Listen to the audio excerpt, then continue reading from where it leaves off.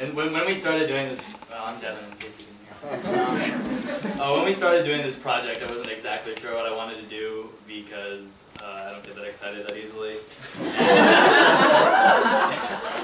and, and when Amelia asked, give you an example, when Amelia asked, this is draw something we're passionate about, I drew a bear playing a guitar. And, um, and um, but eventually I realized that I really like creative things, I guess, and um, and so I, and I, have been realizing not not here, but like other places uh, with normal people. They like,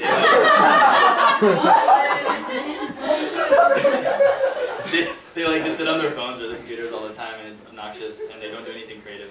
So I was thinking maybe I could do something to inspire people to be a little more creative. And so I decided uh, to do what I called at the time uh, a craft fair at my town which is where I originally wanted to do it. I'm actually doing it at my church now. And I was gonna, I wanted um, local artisans to come and show off some of the stuff they've made. They don't have to sell it necessarily, but just to kind of like show uh, what they're doing. And um, some of the steps I took is I sent, I sent out some emails um, to people in my town. I went to the Lions Club website and they didn't even have any contact information. And uh, the person I emailed never responded. And that was how I decided to do it at my church instead of my town.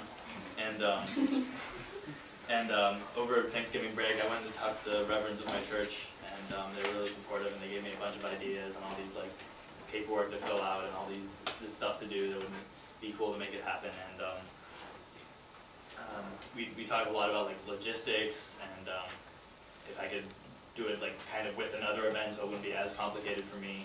And and uh, so I'm going to be doing it like in conjunction with a Martin Luther King Day event kind of thing. It's coming around um, soon, and um, it'll either be I haven't figured it out completely, but it'll either be before or after the Martin Luther King Day event as kind of like an additional thing to it. And um, if I do it with that, it makes it easier because I get like my own little space on the flyer for the Martin Luther King Day thing, and uh, it'd be pretty cool.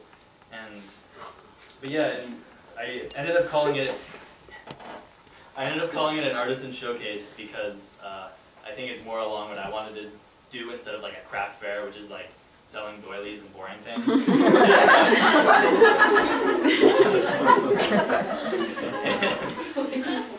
and I wanted it to be more like really creative paintings and sculptures and instruments and like live music probably and um, I don't know maybe uh, uh, people who do like hip hop or like poetry or something to come and read and um, a little more freeform than just people standing at their booths.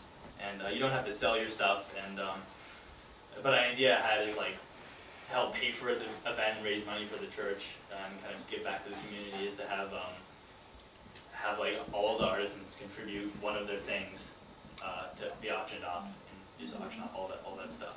And um, that's where I'm at now. And I just need to go home and um, talk to the reverends again get everything finalized and all the paperwork and email people, be official.